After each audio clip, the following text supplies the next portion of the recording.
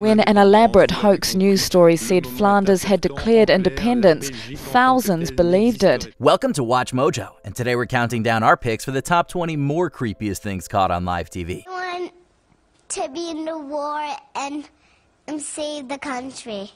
When we showed the clip, everyone had a theory. For this list, we'll be looking at the most disturbing and spine chilling moments that were captured live and left viewers deeply disturbed. What's the creepiest thing you've ever witnessed live? Let us know in the comments below. Number 20. Rubzy's Paranormal Livestream.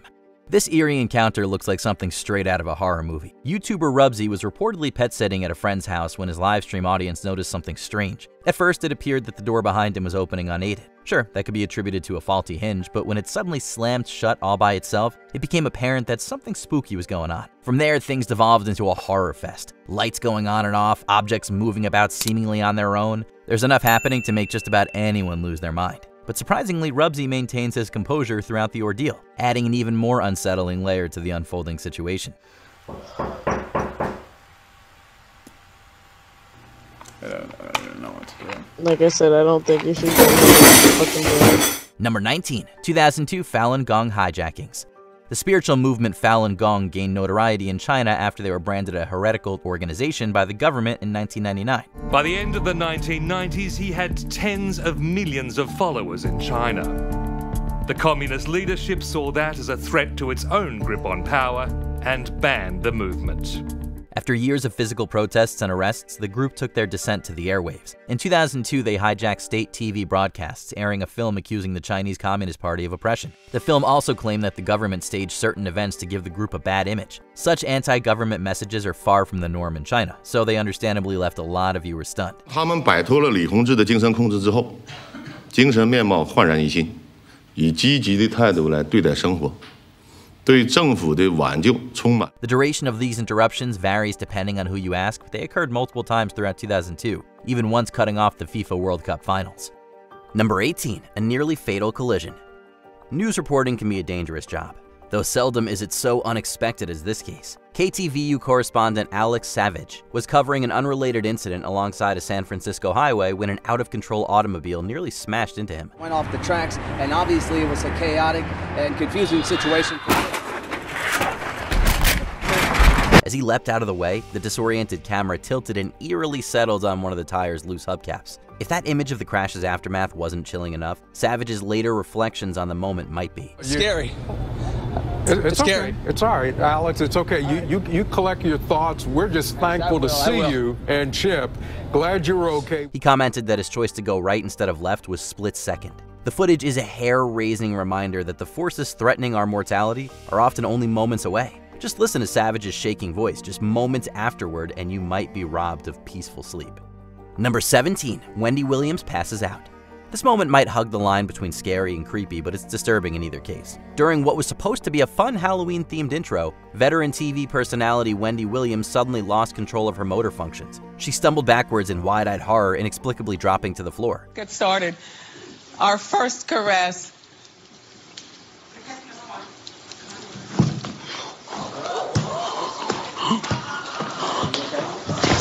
Williams later explained that dehydration and a sudden rise in body temperature caused the incident, and she was able to recover before the broadcast was even over. That was not a stunt. I'm overheated in my costume and I did pass out. But you know what? I'm a champ and I'm back. Though the incident was ultimately minor, the host definitely didn't know that at the time, and we can see that frightened uncertainty in her expression. And if you watch the clip without context, she almost looks possessed. Initial creepiness aside, we agree with Wendy's self assessment of herself as a champ. Kevin said, you know, baby, I know you can do it. Go back out there and show them what you're made of. Close out the show. I said, I know, right? Number 16, ventriloquist Senate candidate. In 2012, Republican hopeful Barry Hinckley challenged Democratic incumbent Sheldon Whitehouse for the Rhode Island Senate seat. During his campaign, Hinckley released an adorable ad featuring his young son Hudson that grabbed everyone's attention. However, when they both appeared for a follow-up interview on Fox News, many were unsettled by what they saw. When host Neil Cavuto questions Hudson about the ad, Hinckley strangely mouths the exact words the boy says. What are your friends saying when they see you on TV? Um, I don't know right now. Did you notice the dad's lips moving? Sort of like a bad ventriloquist? If we didn't know any better, we'd think the Senate candidate and his son were just a bad ventriloquist act looking for some airtime. The interview unsurprisingly left a bad taste in people's mouths, which may have contributed to Hinckley's eventual loss at the polls. Why were you mouthing the words that he said? Well, I'm not sure. You know, I was folk, you know, obviously we were both a bit nervous because it was the first time we did national TV. Number 15, mysteriously moving glass of water. The Primera Edición breakfast show in Honduras had their own fair share of a spooky occurrence during a live taping in 2015. While presenting the morning news, host Carlos Molina notices his glass of water move on its own.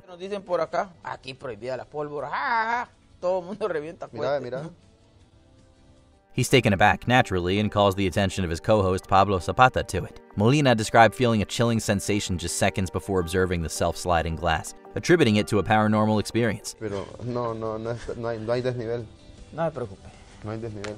Viewers were a bit more skeptical, however, speculating that it was likely a prank on the hosts by their coworkers. This notion has since been dismissed by Molina, who countered that when he tried to move the glass afterwards, it remained stuck to the table.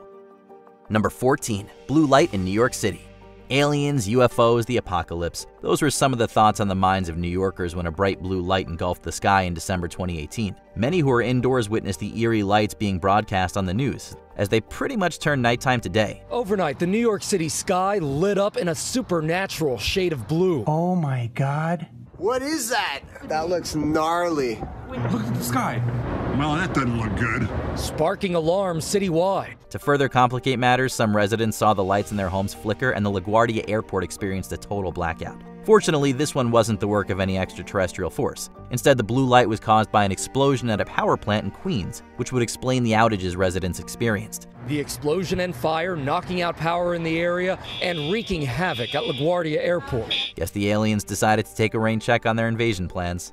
Number 13. UFO flashes intense bright light.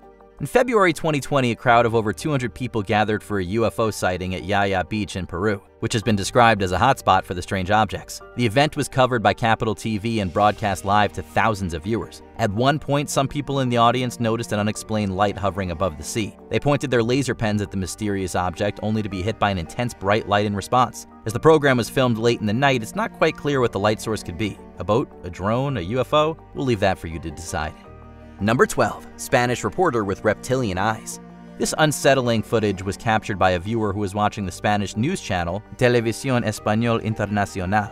Towards the end of the piece, the reporter blinks repeatedly, and for a brief moment, a second set of eyeballs appears over his closed eyelids. I'm looking at this reporter, and I noticed something about his eyes at the very last minute. According to the viewer, this was possible proof of the reporter being an anthropomorphic reptile camouflaging among humans. The actual explanation, however, may be a lot less fantastic. Some internet users speculated that the reporter may have been wearing contact lenses, which made him blink often. There it is, the blink. I'm gonna do it in slow-mo now. There we go. That, combined with a camera compression glitch, likely resulted in the reptilian effect. Either way, the appearance is sure to give anyone watching the creeps. Number 11. Paranormal Newspapers these days, it seems poltergeists and breakfast shows go hand in hand. Yet another alleged poltergeist disturbance occurred on the morning club show at Club FM in Tirana, Albania. At first, everything seems normal until suddenly it isn't. The host, Blendi Salaj, appears to be interviewing a guest on the program when a newspaper on the table in front of them abruptly flies off camera. What makes this particularly disturbing is that the two are the only ones sitting in the booth and there aren't any doors open or windows in sight. Wow. What exactly could have thrown the newspaper in the air? Understandably, Salaj and his guest are dumbfounded. Wow. Wow. Phantasm? And frankly, so are we. Number 10. TV Solidarity. In September 1985, Polish audiences who tuned into the popular crime show Zero Siedem Zgłoś Się were met with strange inscriptions superimposed over the broadcast. The message read, Enough price increases, lies, and repressions. Solidarity Torun and it is our duty to boycott the election. It was later revealed that this intrusion was carried out by four astronomers from the University of Torun in Poland. This was done as a show of support for the Solidarity opposition movement, which had called for a boycott of the 1985 parliamentary elections in protest of the communist regime. This fight with the communist monster was really impossible. We could only fight against it by using its own weapons because it pretended to be the people's system. The men were eventually apprehended, but due to their significant contributions to the Polish scientific community, they were only fined and given probation. Number 9. UFO descends on London football match. In February 2019, the eighth edition of the FA Women's League Cup was underway. The second semi-finals match saw Arsenal go up against Manchester United, with the former winning by two goals to one. But it seems humans weren't the only ones interested in the league. During the aforementioned match, one eagle-eyed fan spotted a mysterious object hovering above the stadium. Where Melbourne victory faced Perth Glory, that's at 2.45 a.m. on ESPN. Upon closer inspection, the viewer noticed a strange red object emitting the light. Like many other sightings, it's hard to tell if this was some form of spacecraft or just a drone. That's at 2.45 a.m. on ESPN.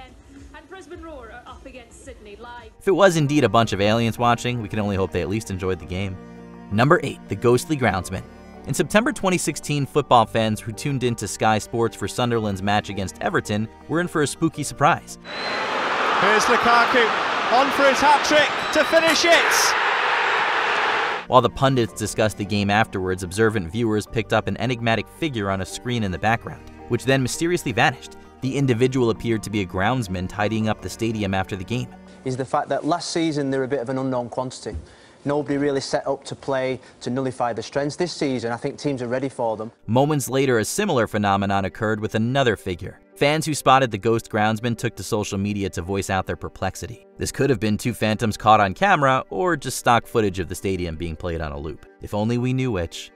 Number 7. Flemish Secession Hoax in 2006, the Belgian TV station RTBF orchestrated a hoax that caused quite the stir in the French-speaking parts of the country. On December 16th, they interrupted a broadcast on one of their channels with an urgent announcement that the Flemish parliament had declared independence from Belgium. The piece appeared genuine, including interviews with politicians and a fake evacuation of the Belgian royal family from their palace. To top it all off, they showed footage of crowds cheering and waving the Flanders flag. The result, more than 2,000 worried people flooded the station's hotline with calls, and their website eventually crashed. 30 minutes later, RTBF admitted that the report was a hoax. Number 6. Mystery Voice interrupts Queen Elizabeth's funeral. The 2022 state funeral of Queen Elizabeth II was one of the most watched TV broadcasts in British history, with over 26 million residents tuning in to catch the event. Some of London's busiest routes closed, lined with people throwing flowers, cheering, taking photos.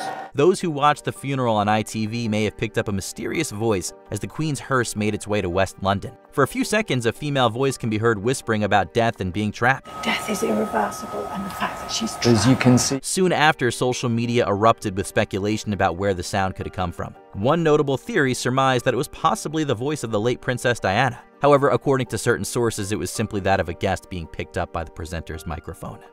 Number 5. The Playboy Channel Religious Message the last place you may expect to find the gospel is on the Playboy channel. So we can imagine how stunned Playboy audiences were on Sunday, September 6, 1987, when a broadcast of the adult film Three Daughters was interrupted by religious texts. Listen, I'm a little flabbergasted about this whole thing. The message came from the Bible verses Exodus 28 and Matthew 4:17, which warned them to repent and keep the Sabbath day holy. Safe to say that someone wasn't pleased with all of the unholy viewing going on. I know that uh, she wants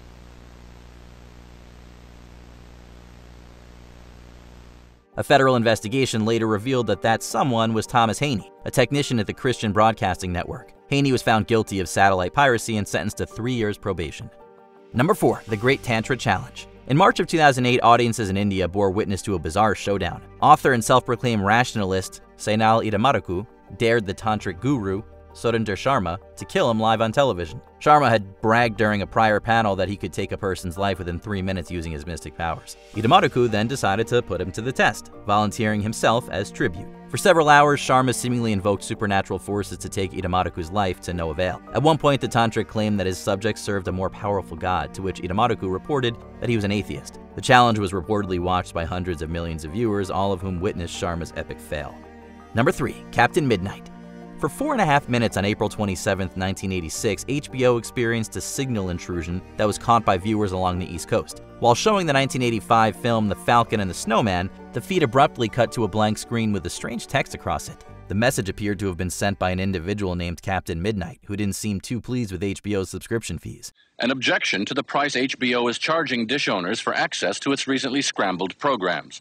The signal got weaker, then, after four minutes, the movie resumed. The incident was investigated by the FCC and FBI, resulting in the arrest of John R. MacDougall. MacDougall owned a satellite dish which was struggling due to the cable channel's high rates. His protest earned him a little infamy as well as a $5,000 fine. MacDougall confessed to the FCC TV cops. And although the agency says his action, if it disrupted military or telephone communications, could be a very serious business, in this case he'll get off with a $5,000 fine. Number 2. Samuel J. Seymour's Secret the CBS game show I've Got a Secret featured a panel of celebrities trying to guess a contestant's secret. Most of these were funny or embarrassing, but on February 9, 1956, 95-year-old Samuel J. Seymour strolled onto the set with a chilling account. Would this person have ever been president of the United States? Was he ever president, this man? Well, I think he was once. Would it have been Abraham Lincoln? After being questioned by the celebrity panel, Seymour revealed that he was reportedly the last surviving witness of Abraham Lincoln's assassination. Seymour claimed that at the age of five, he sat across from the presidential box at Ford's Theater in Washington, D.C., when John Wilkes Booth fired the fatal shot. When he saw Booth jump from the box to the stage, at which time he broke his leg, his only concern was not for the president, because he didn't realize that the president had been shot, but the poor man who fell out of the balcony. His haunting recollection of the event brought history to life and must have sent shivers down the spines of all who listened. Before we continue, be sure to subscribe to our channel and ring the bell to get notified about our latest videos.